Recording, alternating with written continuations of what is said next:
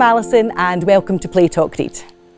Oh look, here comes Benji and here comes our friend Pom Pom wearing a lovely red cape. Hello Benji. Hello Pom Pom. Hello. And today we're in the city of Stirling and behind me is the Stirling Castle sitting on top of a volcanic craggy rock and the very famous Wallace Monument and the sun is shining, it's a beautiful day. Today I'm going to show you how to make a ribbon wand and for this activity, you will need a stick, some colourful ribbon, some scissors, glue, and some tape. So I'm going to start making this stick wand by using a stick that I've picked up from outside and attaching some ribbon onto it just by tying it on. I don't need to tape the ribbon on to this kind of stick. It should stay on itself.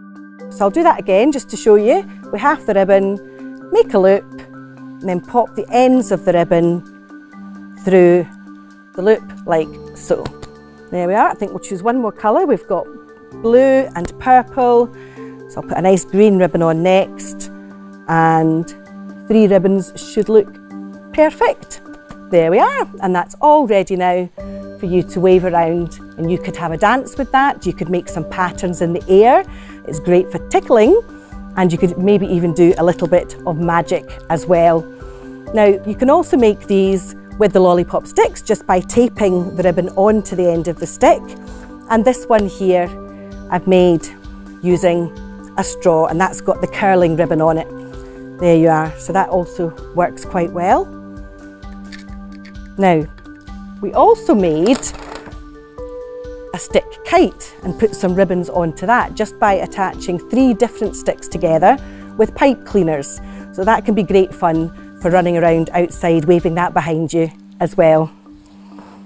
Now, if you have a little one and they're not quite old enough to hold on to a rainbow wand, you could make a little rainbow teether toy like this. And you need to use a very smooth wooden curtain ring to make sure that this is safe for your little one. The same idea again, Let's take some nice colourful ribbon, pop that through the loop and pop it back through itself so that it's nice and secure. And these are great for babies because ribbons are lovely sensory material and they can also put the ring in their mouth quite safely as long as you're supervising them.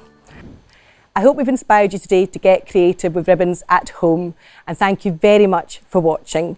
So goodbye from me and goodbye from Pom Pom. Bye bye. And goodbye from Benji. goodbye.